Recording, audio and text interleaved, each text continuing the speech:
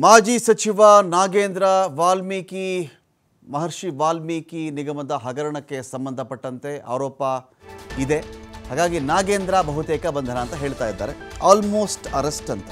ಮೊದಲು ವಶಕ್ಕೆ ಪಡ್ಕೊಂಡಿದ್ರು. ಸಾಕಷ್ಟು ಗಂಟೆಗಳ ಕಾಲ ವಿಚಾರಣೆ ಮಾಡಿದ ಮೇಲೆ ಇಡಿ ಅಥವಾ ಜಾರಿ ನಿರ್ದೇಶನಾಲಯದ ಅಧಿಕಾರಿಗಳು ಬಂಧಿಸಿದ್ದಾರೆ ಅಂತ ಮಾಹಿತಿ ಇದೆ. ಅಧಿಕೃತ ಸ್ಪಷ್ಟನೆ ಇಡಿಯಿಂದ ಬರಬೇಕು. ನಾವು ವೆಯ್ಟ್ ಮಾಡ್ತಾ ಇದ್ದೀವಿ ಅಷ್ಟೇ ಇಡಿ ಕಡೆಯಿಂದ ಎಸ್, ನಾಗೇಂದ್ರ ಅರೆಸ್ಟ್ ಆಗಿದ್ದಾರೆ ಅಂತ ಒಂದು ಮಾಹಿತಿ ನಮಗೆ ಅಫಿಷಿಯಲ್ ಆಗಿ ಬರಬೇಕು. ಆ ಸ್ಪಷ್ಟನೆ ಮಾತ್ರ ಬಾಕಿ ಇದೆ, ಆದರೆ ಅರೆಸ್ಟ್ ಆಗಿದ್ದಾರಂತೆ. ಕೆಲವೇ ಕೆಲವು ಕ್ಷಣಗಳಲ್ಲಿ ನ್ಯಾಯಾಲಯಕ್ಕೆ ಕರೆದೊಯ್ಯುವ ಸಾಧ್ಯತೆ ಕೂಡ ಇದೆ. ನ್ಯಾಯಾಲಯ ಕರ್ಕೊಂಡು ಹೋಗ್ತಾರೆ, ಕರ್ಕೊಂಡು ಹೋಗಿ ಅಂದರೆ ಇಪ್ಪತ್ನಾಲ್ಕು ಗಂಟೆ ಟೈಮ್ ಇರುತ್ತೆ ಅವ್ರಿಗೆ. ಆದರೆ ಅವರು ಈಗಲೇ ಬೇಕಾದ್ರೆ ಪ್ರೊಡ್ಯೂಸ್ ಮಾಡಬಹುದು. ಇಂತಿಂಥ ಕೇಸು ಇಂತಿಂಥ ವಿಚಾರಣೆಗೆ ನಮಗೆ ನಾಗೇಂದ್ರ ನಮ್ಮ ವಶಕ್ಕೆ ಬೇಕು ಸ್ವಾಮಿ, ಕೊಡಿ ನಮಗೆ ಅಂತ ಹೇಳಿ ನ್ಯಾಯಾಧೀಶರ ಸಮ್ಮುಖದಲ್ಲಿ ಅವರು ಮನವಿಯನ್ನು ಮಾಡ್ಕೊಳ್ತಾರೆ. ಆ ಪ್ರಕಾರ ನ್ಯಾಯ, ನ್ಯಾಯಾಧೀಶರು, ಹೌದಾ, ಇಂಥ ಕೇಸ ಇದು ತಗೊಳ್ಳಿ.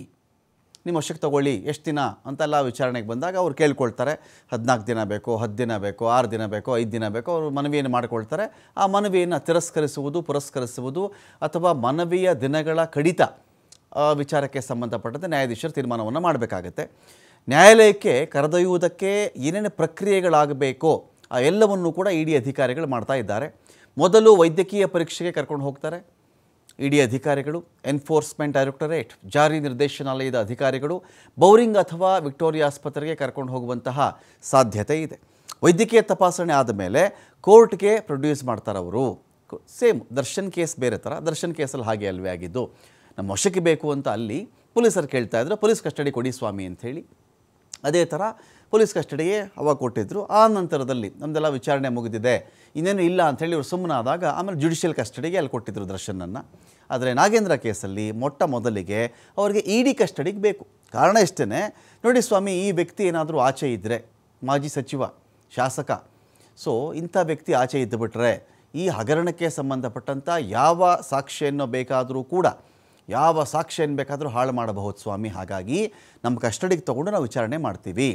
I C I C I bank ದಾಖಲೆ ಮುಂದಿಟ್ಟಾಗಲೂ ನನಗೇನು ಗೊತ್ತಿಲ್ಲ ಅಂತ ನಾಗೇಂದ್ರ ಹೇಳ್ತಾ ಇರೋದು. ಅಂದರೆ ಯಾಕೆ ಅರೆಸ್ಟ್ ಅಂತ ಇಲ್ಲಿ ವಿಷಯ ಭಾಳ ಇಂಟ್ರೆಸ್ಟಿಂಗ್ ಪಾಯಿಂಟ್ಸ್ ಇದು. ನಾಗೇಂದ್ರನನ್ನು ಅರೆಸ್ಟ್ ಮಾಡೇ ವಿಚಾರಣೆ ಯಾಕಪ್ಪ ಮಾಡಬೇಕು? ಯಾಕೆ ಅಂತ ಒಂದು ಪ್ರಶ್ನೆ ಬಂದಾಗ ಇಲ್ಲೇನು ಬರ್ತಿದೆ ವಿಷಯ ಅಂತ ಹೇಳಿದ್ರೆ ನಾಗೇಂದ್ರನ ಮುಖ ನೋಡಿ ಇ ಡಿ ಅಧಿಕಾರಿಗಳು, ಅಧಿಕಾರಿಗಳ ಪ್ರಶ್ನೆಗೆ ಪಿ ಎ ಹರೀಶ್ ಉತ್ತರಿಸ್ತಾ ಇದ್ದದ್ದು.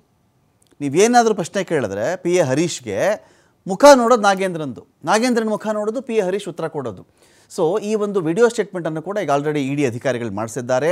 ವಿಡಿಯೋ ಸ್ಟೇಟ್ಮೆಂಟ್ನಲ್ಲಿ ನಾಗೇಂದ್ರ ಪಾತ್ರದ ಬಗ್ಗೆ ಇವರ ಪಿ ಎ ಹರೀಶು ಬಾಯಿ ಬಿಟ್ಟುಬಿಟ್ಟಿದ್ದಾನೆ ಮತ್ತೆ ನಾಗೇಂದ್ರ ಮನೆಗೆ ಕರ್ಕೊಂಡು ಹೋದಾಗ ಮೌನಕ್ಕೆ ಶರಣಾಗ್ಬಿಟ್ಟಿದ್ದ. ಈಗ ಎಲ್ಲ ಮೊದಲೆಲ್ಲ ಕೇಳಿದಾಗ ಆನ್ ರೆಕಾರ್ಡ್ ವಿಡಿಯೋ ರೆಕಾರ್ಡ್ ಮಾಡ್ತಾರಲ್ಲ, ಹೇಳಿಬಿಟ್ಟಿದ್ದು ನಿಜ, ಹೀಗಾಯಿತು ಹೀಗಾಯಿತು ಅಂತ ಹೇಳಿ.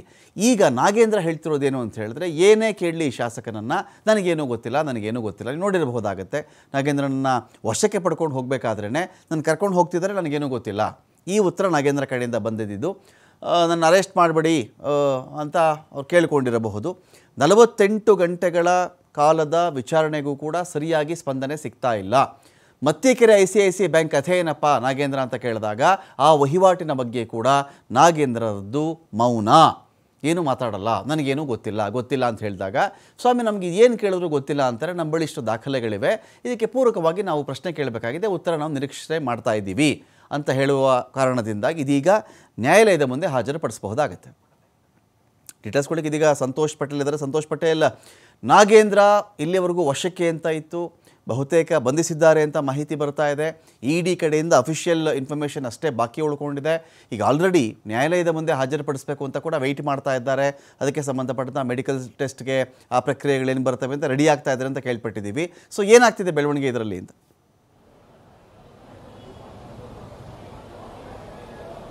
ರಮಕಾಂತ್ ಏನು ಬೆಳಗ್ಗೆಯಿಂದನೂ ಕೂಡ ಏನು ಇಡಿ ಅಧಿಕಾರಿಗಳು ನಾಗೇಂದ್ರನನ್ನು ವಶಕ್ಕೆ ಪಡ್ಕೊಳ್ತಾರೆ ಅವರ ಮನೆಯಲ್ಲಿ. ವಶಕ್ಕೆ ಪಡಿಸ್ಕೊಂಡ ನಂತರ ಆತ ನೇರವಾಗಿ ಶಾಂತಿನಗರದ ಇಡಿ ನಗರ ಕಚೇರಿ ಕರ್ಕೊಂಡ್ಬಂದು ವಿಚಾರಣೆಯನ್ನು ನಡೆಸ್ತಾ ಇರುವಂಥದ್ದು ಸತತ ಏಳೆಂಟುಗಳ ಕಾಲ ವಿಚಾರಣೆಯನ್ನು ನಡೆಸಿದ್ರು ಕೂಡ ಇಡಿ ಅಧಿಕಾರಿಗಳ ವಿಚಾರಣೆಗೆ ಸ್ಪಷ್ಟವಾಗಿ ಸಹಕಾರವನ್ನು ಕೊಡ್ತಾ ಇಲ್ಲ. ಅವರ ಕೇಳಿದ ಪ್ರಶ್ನೆಗಳಿಗೆ ಉತ್ತರಗಳನ್ನು ಕೊಡ್ತಾ ಇಲ್ಲ ಅಂತ ಹೇಳಿ ಅವ್ರ ಮೇಲೆ ಆರೋಪಗಳಿರುವಂಥದ್ದು ಸೊ ಏನಂತ ಹೇಳಿದ್ರೆ ಯಾವುದೇ ಪ್ರಶ್ನೆ ಈ ಹಿಂದೆ ಇಡಿ ಅಧಿಕಾರಿಗಳು ಕಲೆ ಹಾಕಿದ ಮಾಹಿತಿ ಒಂದು.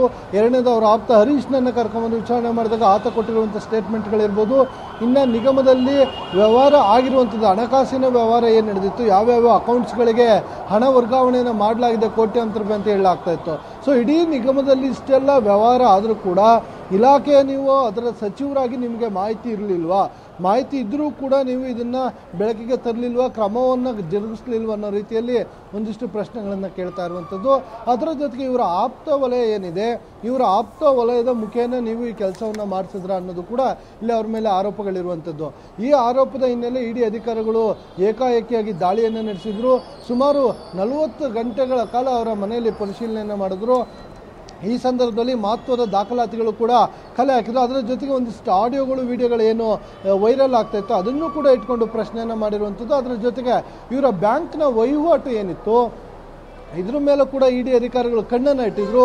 ಇವ್ರಿಗೆ ಎಷ್ಟು ಬ್ಯಾಂಕ್ಗಳಿದೆ, ಎಲ್ಲೆಲ್ಲಿದೆ, ಎಷ್ಟು ಹಣಕಾಸಿನ ವ್ಯವಹಾರ ಇದೆ ಇವರು ಸಚಿವರಾದ ನಂತರ, ಅಂದರೆ ಕಾಂಗ್ರೆಸ್ ಸರ್ಕಾರ ಬಂದ ನಂತರ ಮಿನಿಸ್ಟರ್ ಆದ ಬಳಿಕ ಇವರು ಆ ಹುದ್ದೆಯನ್ನು ಏರಿದ ನಂತರ ಎಷ್ಟು ಹಣಕಾಸಿನ ವ್ಯವಹಾರವನ್ನು ನಡೆಸಲಾಗಿದೆ, ಈ ಎಲ್ಲ ಮಾಹಿತಿಯನ್ನು ಇಡಿ ಅಧಿಕಾರಿಗಳು ಕಲೆ ಹಾಕೊಂಡಿದ್ರು. ಈ ಮಾಹಿತಿಯನ್ನು ಆಧರಿಸಿ ವಿಚಾರಣೆಯನ್ನು ನಡೆಸ್ತಾ ಇರುವಂಥದ್ದು ಸೊ ಅವರ ವಿಚಾರಣೆಗೆ ಯಾವುದೇ ರೀತಿಯಲ್ಲಿ ಇವರು ಸಹಕಾರವನ್ನು ಕೊಡ್ತಿಲ್ಲ ಅನ್ನೋ ರೀತಿಯಲ್ಲಿ ಈ ಹಿನ್ನೆಲೆಯಲ್ಲಿ ಇವ್ರನ್ನ ಬಂಧನವನ್ನು ಮಾಡುವ ಸಾಧ್ಯತೆ ಇರುವಂಥದ್ದು ಅದಕ್ಕೆ ಬೇಕಾಗಿರುವಂತಹ ಪೂರಕ ಸಾಕ್ಷ್ಯಾಧಾರಗಳನ್ನು ಕಲೆ ಹಾಕಿ ರಿಮ್ಯಾಂಡ್ ಅನ್ನು ಕೂಡ ಸಿದ್ಧಪಡಿಸ್ತಾ ಇದ್ದಾರೆ ಅನ್ನೋ ಮಾಹಿತಿ ಲಭ್ಯವಾಗ್ತಾ ಇರುವಂಥದ್ದು ಒಂದು ವೇಳೆ ಹಂಗಿದ್ರೆ ಅವ್ರನ್ನ ಮೆಡಿಕಲ್ ಟೆಸ್ಟ್ ಅನ್ನ ಮಾಡಿ ರಿಮ್ಯಾಂಡ್ ಅಪ್ಲಿಕೇಶನ್ ನ್ಯಾಯಾಲಯಕ್ಕೆ ಕೊಟ್ಟು ಅವ್ರನ್ನ ವಶಕ್ಕೆ ಕೇಳ್ಬೋದು. ಇಲ್ಲ ಅಂದ್ರೆ ಈ ಅವ್ರನ್ನ ವಿಚಾರಣೆಯನ್ನ ಮಾಡಲಿಕ್ಕೆ ವಿಚಾರಣೆಯನ್ನು ಮಾಡಿ ಇವತ್ತು ಬಂಧನ ಈಗ ಬಂಧನ ಅಂತ ತೋರಿಸಿದ್ರು ಕೂಡ ನಾಳೆ ಇಷ್ಟೊತ್ತವರೆಗೂ ಕೂಡ ಸಮಯಾವಕಾಶ ಇರುತ್ತೆ. ನಾಳೆ ಕೂಡ ಅವ್ರನ್ನ ನ್ಯಾಯಾಲಯಕ್ಕೆ ಹಾಜರುಪಡಿಸಲಿಕ್ಕೆ ಅವಕಾಶ ಇರುವಂತದ್ದು ರಮಾಕಾಂತ್. Thank you Santosh